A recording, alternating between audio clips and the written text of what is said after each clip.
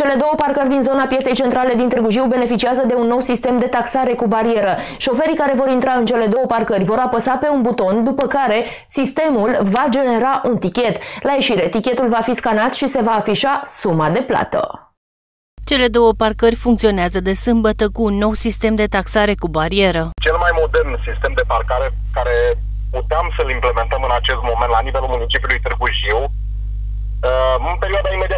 următoare, cu sprijinul celor de la Direcția de Patrimoniu și celor de la Poliția Locală, sunt convins că și cetățenii care vor folosi cele două parcări din, uh, de lângă piața centrală din municipiul Târgu Jiu, uh, vor învăța să folosească în mod corect acest sistem implementat de sâmbătă pentru taxarea serviciilor oferite de către municipalitate.